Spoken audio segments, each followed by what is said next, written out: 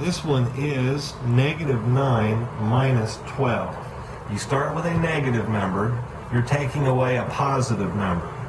That means your answer is going to be negative, and you add the digits together, which would be, or add your numbers together, which is 9 plus 12, that would be 21. That makes your final answer negative 21.